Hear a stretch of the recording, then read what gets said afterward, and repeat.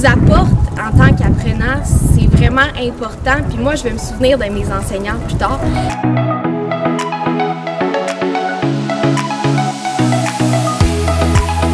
Ma professeure de quatrième année, je te dirais, était tellement douce puis à l'écoute de chaque personne.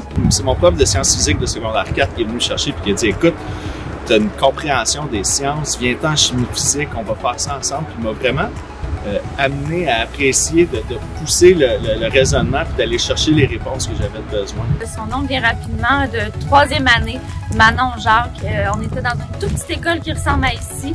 Euh, elle était pleine d'ambition, puis elle s'est pas limitée au fait qu'on était euh, une petite place. Elle voulait faire découvrir à ses élèves. On a fait un voyage aux îles de la Madeleine.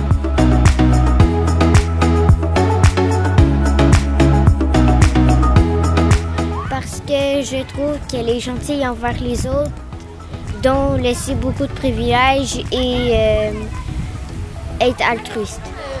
Quand elles enseignent, elles font souvent ça en activité, puis on voit qu'elles sont motivées, donc euh, ça motive aussi les élèves. On avait notre prof de sciences qui mettait de la musique euh, à chaque début de cours, puis qui commençait avec euh, des jeux de mots. Exemple, on parlait de sang. Il disait donnez votre sang pour sang, puis il disait des petits jeux de mots comme ça. C'était assez drôle, puis ça commençait bien le cours. Là. Moi, j'aime beaucoup mon enseignant. On peut emmener des bonbons, emmener un toutou ou emmener de la gomme. Ça pourrait être qui ton enseignant parce que Une licorne.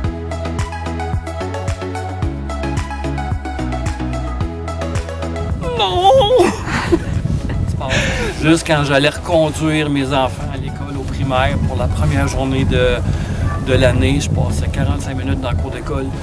Puis moi, j'en avais assez. Donc, je lève vraiment mon chapeau très haut à tous ces enseignants-là. Absolument pas. Non, c'est. Puis euh, de- depuis les deux dernières années, encore moins. Je, c'est très peu de dire que je leur lève mon chapeau parce que c'est, c'est énorme. C'est un don d'eux-mêmes incroyable qu'ils ont fait et qui continuent de faire sans relâche à se renouveler.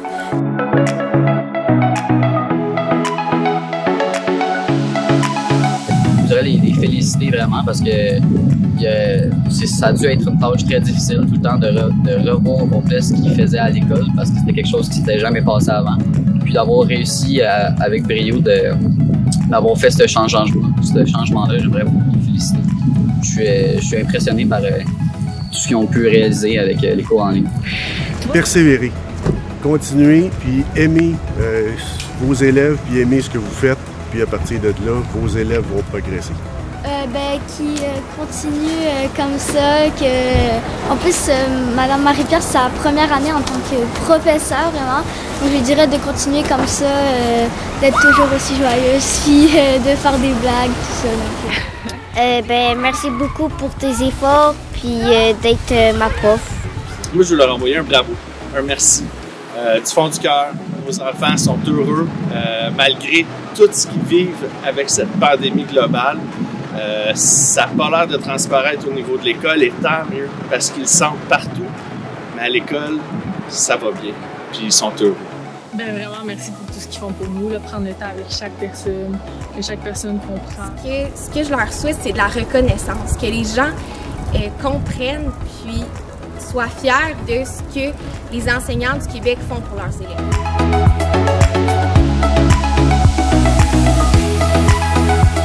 Merci! Merci. Merci. Merci. Merci, merci du fond du cœur pour tout ce que vous faites, tout ce que vous êtes. Merci.